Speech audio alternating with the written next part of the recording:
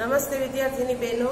આજે આપણે સામાજિક જ્ઞાન, ધોરણ નવ, પાઠ એક, ભારતમાં બ્રિટિશ સત્તાનો ઉદય કેવી રીતે થયો એની વાત કરીએ. તો સૌપ્રથમ ભારતમાં યુરોપિયન પ્રજાનું આગમન. હવે યુરોપિયન પ્રજાનું આગમન ભારતમાં થયું એ પહેલા ભારત અને યુરોપના જે દેશો હતા એટલે કે પશ્ચિમના દેશો વચ્ચેનો જે વેપાર માર્ગ છે એ બંધ થઈ ગયો હતો.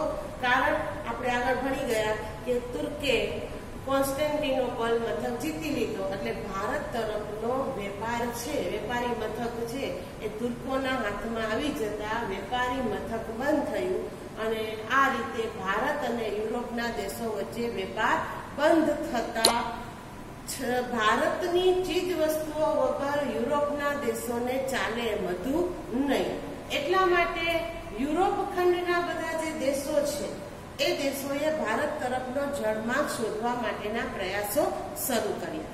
જેમાં વાસ્કો દ ગામા ભારત તરફનો જળમાર્ગ શોધવા માટે સફળ થયો અને આ રીતે ભારતમાં યુરોપિયન પ્રજાનું આગમન થયું. તો સૌપ્રથમ ભારતની અંદર પોર્ટુગીઝ પ્રજા આવી. પોર્ટુગીઝ એટલે કે ફિરંગીઓ. અને ફિરંગીઓને ભારતમાં વેપાર કરવાની પરવાનગી મળી. એનો ખૂબ સારો વેપાર જોઈને હોલેન્ડની ડચ પ્રજા પણ ભારતમાં વેપાર કરવા આવી, જેને વલંદાઓ તરીકે પણ ઓળખવામાં અને ત્યાર પછી ડેનમાર્કની ડેનિશ પ્રજા પણ ભારતમાં વેપાર કરવા આવી.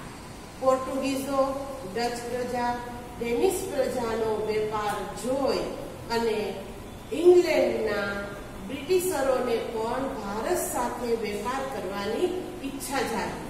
જેના પરિણામે તેમણે ઈસવીસન સોળસોમાં ઈસ્ટ ઇન્ડિયા કંપનીની સ્થાપના કરી અને આ રીતે તેમણે કંપની સ્થાપી. એ સમયે ઇંગ્લેન્ડના રાણી એલિઝાબેથ તેમની પાસે તેમણે વેપાર કરવાની પરવાનગી માંગી. તો આ રીતે રાણી એલિઝાબેથે વેપાર કરવાની પરવાનગી આપી. એટલા માટે ઈસવીસન સોળસો ને આઠમાં વિલિયમ હોકિન્સની આગેવાની હેઠળ ઈસ્ટ ઇન્ડિયા કંપનીનું પ્રથમ વહાણ સુરત બંદરે આવ્યું. વેપાર કરવા માટે આવ્યું, પણ સોળસો ને આઠમાં વિલિયમ હોકિન્સને વેપાર કરવાની પરવાનગી મળી નહીં, કારણ કે એ સમયે પોર્ટુગીઝો ભારતમાં ત્યારે વેપાર કરતા હતા. એટલે તેમની ના હોવાને કારણે, તેમના વિરોધ હોવાને કારણે અંગ્રેજોને ઈસવીસન સોળસો ને આઠમાં વેપાર કરવાની પરવાનગી મળી નહીં. એટલે હોકિન્સ પોતાનું વહાણ લઈ અને પાછો ઇંગ્લેન્ડ જતો રહ્યો. ત્યાર પછી ઈસવીસન સોળસો ને તેરમાં ફરી પાછું બ્રિટિશ વહાણ વેપાર કરવા માટે ભારત આવ્યું. ત્યારે એ સમયે બાદશાહ જહાંગીરનું શાસન હતું. અને જહાંગીરે અંગ્રેજોને વેપાર કરવાની પરવાનગી આપી. હવે વેપાર કરવાની પરવાનગી મળી એટલે બ્રિટિશરોએ, એટલે કે ઈસ્ટ ઇન્ડિયા કંપનીએ પોતાનું પ્રથમ વેપારી મથક સુરતમાં સ્થાપ્યું. તો આમ અંગ્રેજોના પ્રથમ વેપારી મથકની સ્થાપના સુરતમાં કરવામાં આવી. ત્યાર પછી અંગ્રેજોએ ભરૂચ, અમદાવાદ મછલીપટ્ટમ સેન્ટ જ્યોર્જ એટલે કે ચેન્નાઈ અત્યારનું, ફોર્ટ વિલિયમ એટલે કે અત્યારનું કોલકાતા, આ બધા સ્થળોએ અંગ્રેજોએ વેપાર કરવા માટે કોઠીઓ સ્થાપી. કોઠી એટલે કે વેપારી મથકની સ્થાપના કરી. તો આમ આ બધી યુરોપિયન પ્રજાનો ધીકતો વેપાર જોઈ અને ઈસવીસન સોળસો ને અડસઠમાં ફ્રેન્ચ ઈસ્ટ ઇન્ડિયા કંપનીની સ્થાપના કરી અને ફ્રેન્ચો પણ ભારતમાં વેપાર કરવા આવ્યા. તેમણે પણ ભારતની અંદર માહે, કરાઈકર પોંડિચેરી મછલીપટ્ટમ આ બધી જગ્યાએ પોતાના વેપારી મથકોની સ્થાપના કરી. હવે અંગ્રેજો અને ફ્રેન્ચો આ બંને ભારતમાં વેપારી મથકની સાથે સાથે તેઓ સત્તા સ્થાપવા માટેના પણ પ્રયાસો કર્યા જેના પરિણામે બ્રિટિશ ઈસ્ટ ઇન્ડિયા કંપની અને ફ્રેન્ચ ઈસ્ટ ઇન્ડિયા કંપની વચ્ચે સત્તા મેળવવા માટે, સત્તા સ્થાપવા માટે ત્રણ વિગ્રહ થયા, એટલે કે યુદ્ધ કરવામાં આવ્યા. અને એ યુદ્ધની અંદર અંગ્રેજો જીતી ગયા. ત્યાર પછી ભારતમાં કોઈ એવી શક્તિશાળી યુરોપિયન પ્રજા રહી નહીં. એટલા માટે અંગ્રેજોએ ધીમે ધીમે રાજ્ય વિસ્તાર વધાર્યો.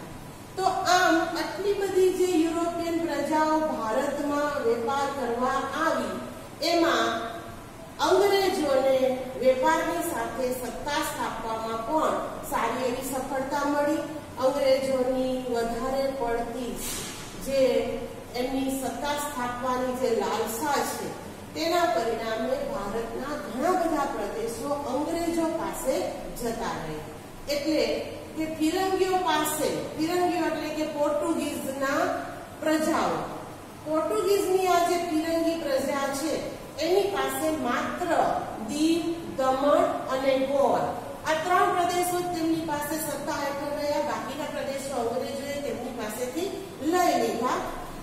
અને ફ્રેન્ચો પાસે ફ્રાન્સની જે ફ્રેન્ચ પ્રજા છે, એની પાસે માહે કરાઈકર પોંડિચેરી આ ત્રણ પ્રદેશો તેની પાસે રહ્યા અને જે હોલેન્ડની જે ડચ પ્રજા જે ભારતમાં વેપાર કરવા આવી હતી, એ અંગ્રેજો પિરામીઓ વેપાર, ફ્રેન્ચો વગેરે સામે ટકી શકી નહીં, એટલે ડચ પ્રજાને તેમના દેશમાં ફરીથી પાછું ફરવું પડ્યું, એટલે કે તેમને ભારતમાંથી વિદાય લીધી. હવે અંગ્રેજોની સામે આઝાદીની લડત કરી અને આપણે ઓગણીસો ને સુડતાલીસમાં આઝાદી મેળવી.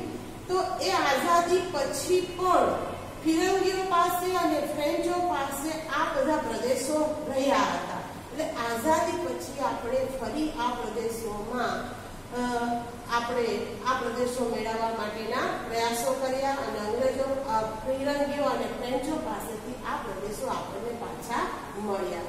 તો આ રીતે ભારતમાં યુરોપિયન પ્રજાનું આગમન અને સત્તા તેમણે કઈ રીતે સ્થાપી એ આપણે સમજ